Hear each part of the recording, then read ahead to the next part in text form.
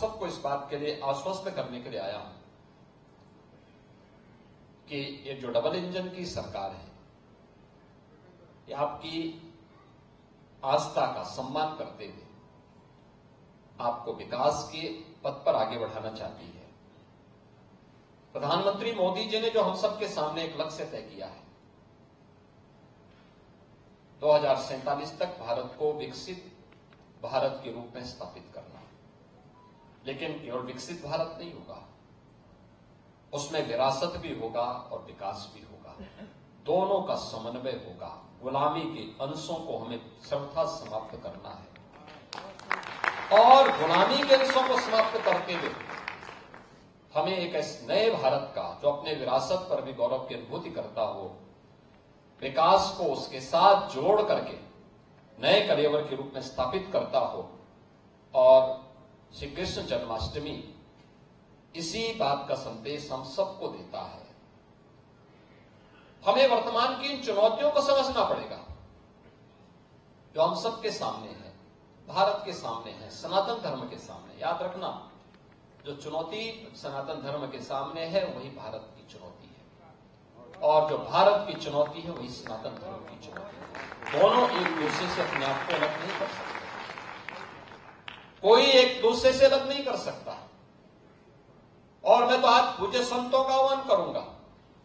इस समय है उनको स्वयं आगे आकर के पूरे समाज को एकजुट करने के सावधान के साथ आगे बढ़ना पड़ेगा।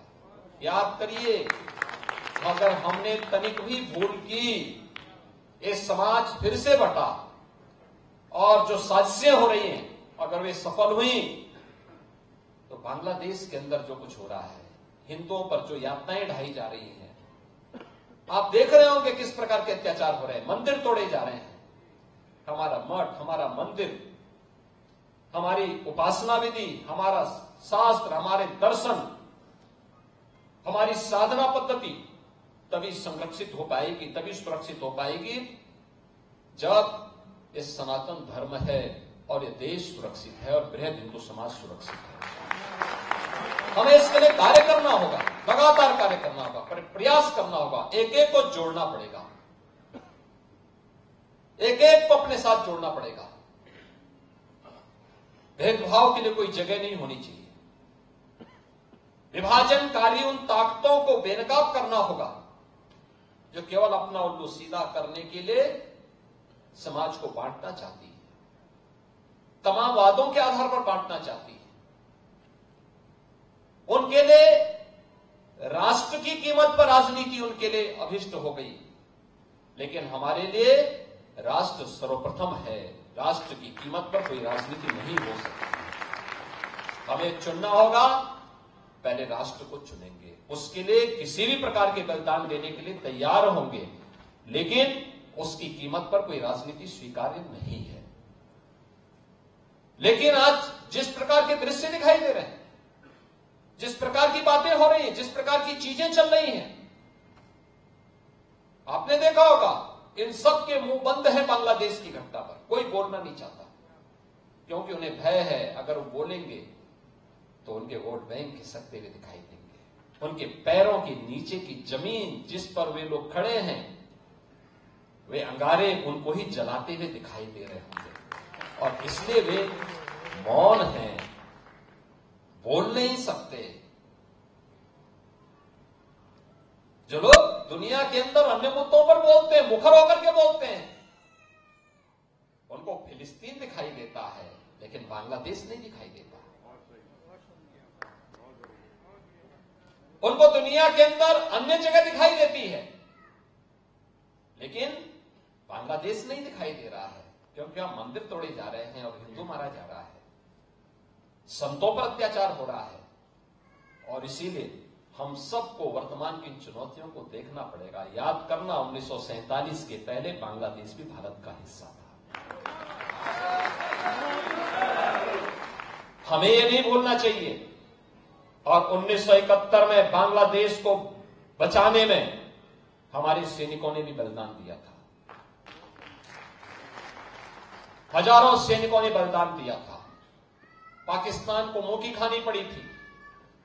पाकिस्तान के पिचानवे हज़ार से अधिक सैनिकों को भारत के बहादुर जवानों के सामने समर्पण करना पड़ा था और विश्व के इतिहास में, विश्व के इतिहास में किसी भी सेना की सर्वाध सबसे बड़ी विजय थी जो उन्नीस सौ इकहत्तर में भारत की सेना ने करके दिखाया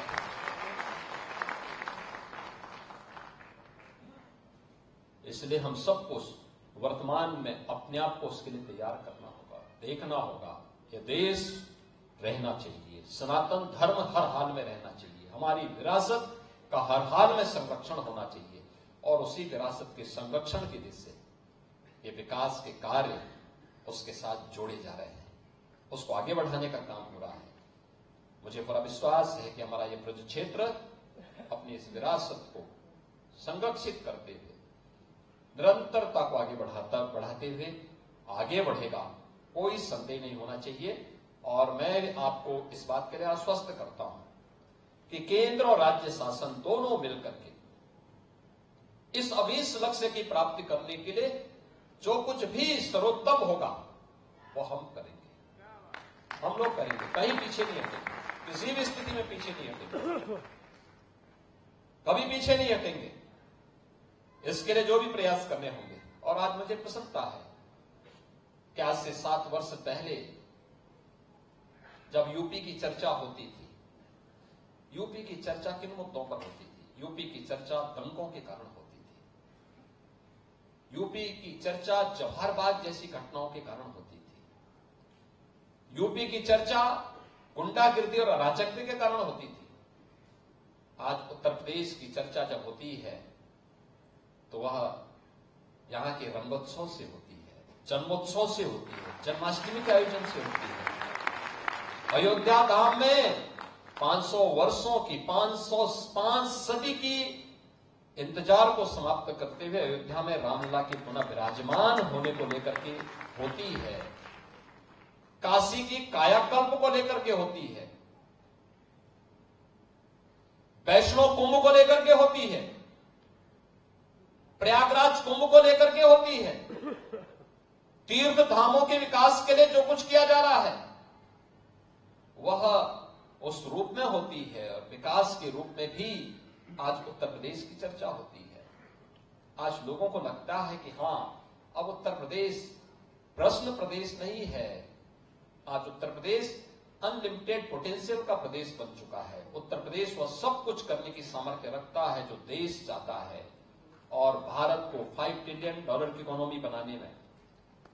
जिस उत्तर प्रदेश को पहले विकास का बैरियर माना जाता था, आज उत्तर प्रदेश अपनी विरासत और विकास का बेहतरीन समन्वय के माध्यम से भारत के विकास का ग्रोथ इंजन बन करके तेज़ी के साथ उसमें योगदान देने के लिए अपने आप को तैयार कर रहा है। और ये विकास की योजनाओं का जो आज लोकार्पण और शिलान्यास हो रहा है देश विदेश की ताज़ा खबर पाने के लिए हमारे चैनल वी न्यूज़ को सब्सक्राइब करें और बेल आइकन दबाना ना भूलें।